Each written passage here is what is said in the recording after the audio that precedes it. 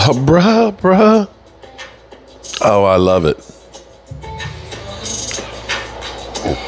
Mm-hmm. Oh, yeah. Good people. Good morning, good people. Mark Holmes here with my buddy Cowboy Joe Boo. People, it is Thirsty Thursday. It is week number nine in the NFL. I don't even know who plays tonight, but we'll be live streaming tonight, watching some football. You know, the sad thing is, we wait all year long for football season to get here, and it goes by so damn fast. Here it is. Is the Dallas Cowboys versus the Philadelphia Eagles. It don't get no better than this. Ladies and gentlemen, let's get ready to rumble. We are here. And I'm going to say um I'm going to say that Philly 500 hasn't been the usual Philly 500. Philly 500 has not been coming after me like he usually does, where he tells me, Your team stinks. They're ass ass. They suck. My Eagles are the greatest team of all time. I'm just wondering where that energy is, Philly. Now, I, I don't know. You know, I, I look at it this way, okay? I'm going to be fair. Right now, Cowboys, the last couple of weeks, seem to have gotten themselves together a little bit better. They've gotten healthier than they've been. We got good news with Tyron Smith. He's not going to be practicing. They're working on rehabbing and making sure they don't aggravate the neck so he can at least start the game. Of course, we don't have Diggs, but for the most part, this is as healthy as the Cowboys have been all off all year, all year. This will be the most consistency. This will be the third time that we will have had our offensive line fully on the field. Now, don't let the people out there try and tell you the bullshit that you know. Well, the Cowboys they got you know one, a top five offensive line. They do when they're healthy, but out of the seven games they've played, they've only had them together two times. It's been a mismatch all the way around. Now, my question now, excuse me, is we know that Mike McCarthy says, I want to just run the damn ball. I just want to run the ball. And, you know, there's what you want to do versus what you can do. I'm going to give you actually um, an example. Joe Gibbs was part of Air Coryell. And for those of you who don't know what Air Coryell, that was the Chargers back in the day with Dan Fouts. That was the modern, that was the first iteration of the modern offense where you're slinging the football and running is an afterthought. Air Coryell was literally just deep passing, deep passing, deep passing, something the NFL had not seen before. Joe Gibbs came from that. And when he was hired as the head coach of the Washington Redskins at that time, he looked around and he said, Joe Theismann ain't a deep passer. I got an older, slow, you know, bruising running back. I got big offensive linemen. And he wanted to be able to throw the football like he did, but he didn't have the personnel to do what he wanted to do. So he changed up what he was doing. Instead of having two backs, he ended up taking the fullback and making the H back and had basically the single back set with John Riggins. And they became a marauding running team that ended up winning three Super Bowls. There's what you want to do versus what you can do. Mike McCarthy has wanted to run, you know, the, the football. He wanted to be ground and pound. But the reality is, is with the offensive line the way it is currently constructed, and in transition, I will say, because I hate to say it, but we need to draft a left tackle next year or a left guard and move uh, Tyler Smith to tackle. That Tyron Smith just can't stay on the field and stay healthy. His time is coming closer and closer to an end. But you don't have the offensive line consistency to be able to really run that way. And you don't have the running back to run up the middle all the time. You just don't. Tony Pollard is getting battered and bruised and hurt. He will not make it through the season if you constantly try and run him up the middle 10 times or more a game. He is a get me a ball in space guy. And that's the reality of it. Unless you think that Hunter Luepke is going to be that battery and bruise guy, what you've got is a quarterback who is very accurate, who can throw the ball down the field. You've got a Ferrari in CeeDee Lamb who you can see can make hay, you put him outside as the X. You got another guy in Brandon Carr, excuse me, Brandon Carr, oh my God, Brandin Cooks, who is another Ferrari that can get down the field. And you're developing a tight end in Jake Ferguson who can be, hopefully in the near future, a security blanket. You got Michael Gallup, who I, am not sure. Michael Gallup and Jalen Tolbert. Okay, Jalen Tolbert's playing a little bit more than Michael Gallup is at the moment, but you've got receivers that can make hay. That is the reality of it. And with your offensive line battered and bruised, this is where you evolve and say, we need to move the pocket. Let's get Dak on the edge. You have to evolve what you're doing because you have to fit with what you have. Running the football is a great idea. It's wonderful. But if you can't do it, the idea doesn't help you at all. You just stink. And especially when you're going against a team like the Eagles, that their defensive front, nobody's been able to run against them. And why should you when people are making hay down the field? if Sam freaking Howell can throw for 400 yards against the Eagles defense, that could have been a whole lot more at Scary Terry caught the ball on that third and fourth down. That's where you make your hay. And that's the reality of it. You may want to do a lot of things, but the reality dictates to what you actually do. And I think the Cowboys need to rely on the strength of using Dak Prescott and CeeDee Lamb and Brandin Cooks and Jake Ferguson and get the ball down the field. And once you do that, that's going to open up things better for the running game. And that's the reality of the situation. So this is where the team is definitely needs to evolve and get back to, uh, I want to say, a little bit more Kellen Moorish, more motion pre snap, move in the pocket, maybe some no huddle, and you do these things, your offense is going to be much better than no motion, run the ball up the middle. And this is where Mike McCarthy, I hope that it wasn't just a one game thing, that he realizes this is what we have to do to be able to get this offense really in gear. I understand his philosophy is he doesn't want to turn over the ball. But when you end up being that one dimensional kind of running team that's only going to do the dinking and dunking, it's a little easier to defend. If you force teams to have to cover the whole field, you're going to be able to do better. So let's go to Get Up this morning because we want to, of course, listen to what they have to say.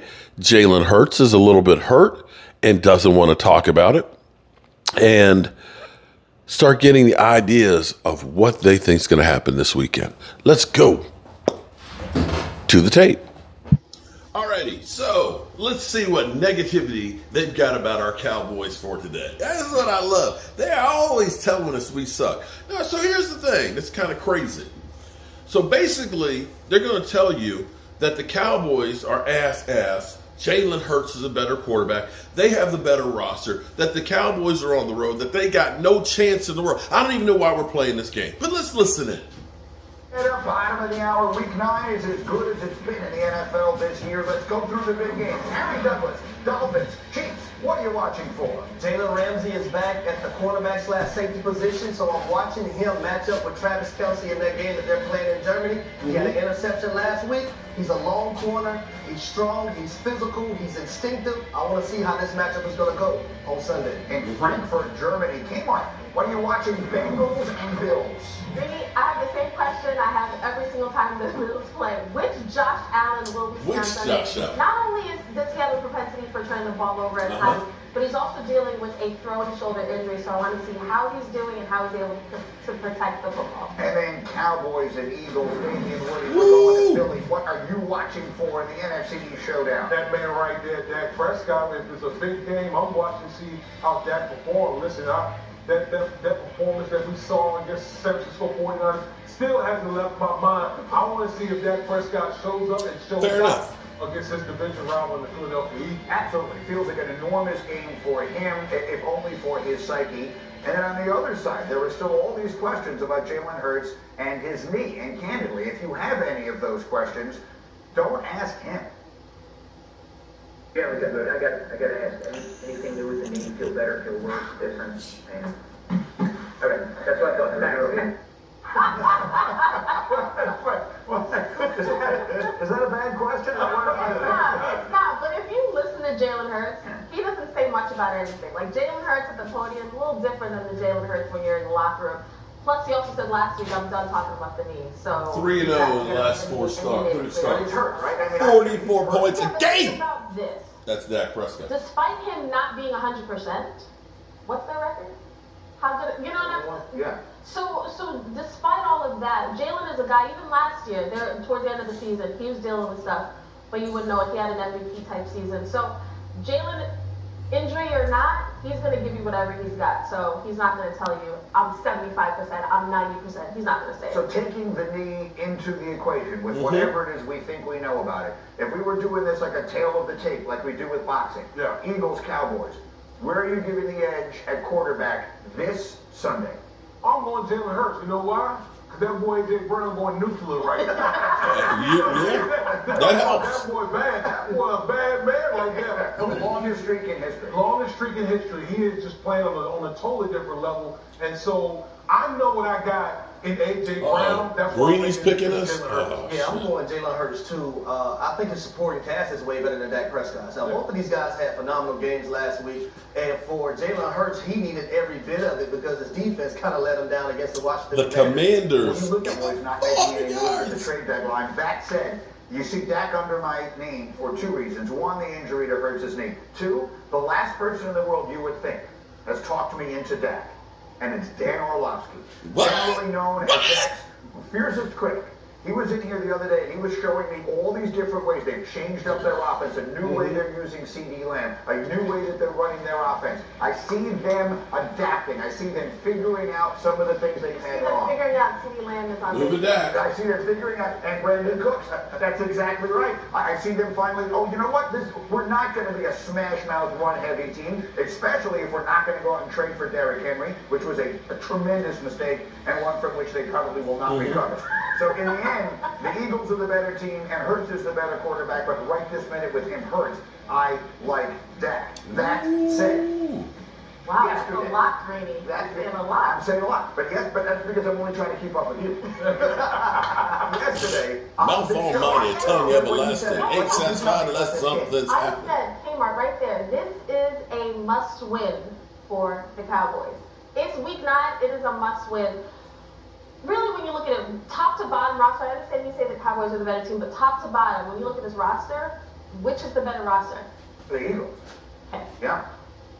Psychologically, I know you know me. Yes. I'm on the side- Like I'm on me. the side- You know me. There's I like to start some to it. And shit. with The Cowboys, it doesn't matter playing Washington Commanders, playing other teams. It really doesn't matter. It's about your matchups against 49ers, the Eagles, the Seahawks, the Lions. Like we're looking at the who are the best teams in the NFL in the NFL.